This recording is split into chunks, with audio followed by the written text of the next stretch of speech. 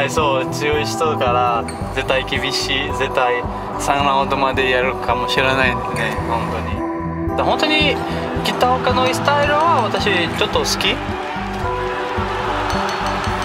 今一番強い人は新青木ね。決め技は新青木ね。2番目は私の気持ちはなんか北岡ね。